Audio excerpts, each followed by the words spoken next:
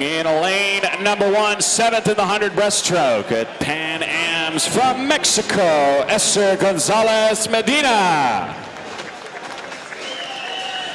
In lane two, the national record holder for Mexico in this event, representing Mexico, Melissa Rodriguez.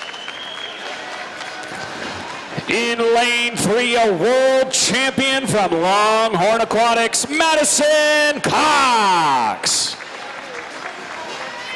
Lane four, sixth in the 100 breaststroke at Pan Ams from Tennessee Aquatics, Molly Hannis.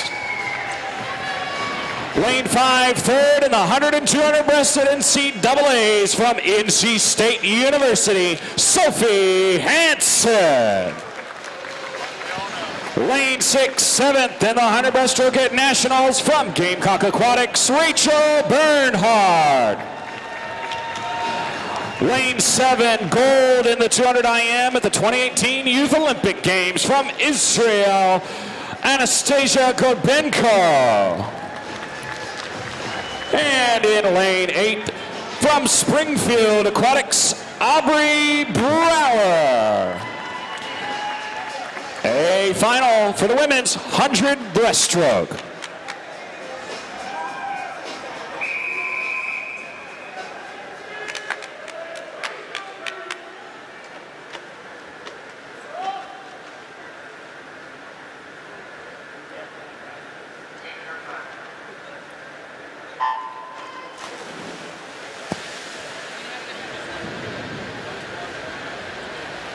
Molly Hannis, that top time this morning, 108.09, outpacing Sophie Hansson by just about three tenths of a second. Hansson with a 108.47.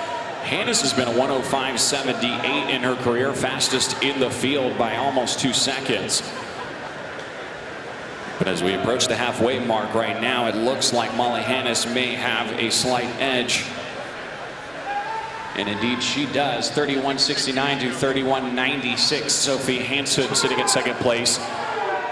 The Swede in lane number five, 108.47 this morning. 107.59, like I mentioned, her personal best time. Eighth in the 50 breast at European Championships a year ago. Tight bunch field here. Madisyn Cox, Rachel Bernhardt, the Gamecock in lane number six, and the Longhorn in lane number three, also still in the mix.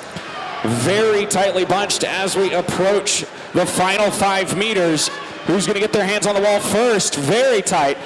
And it's going to be Sophie Hansson, 107.89, winning your 100 breaststroke.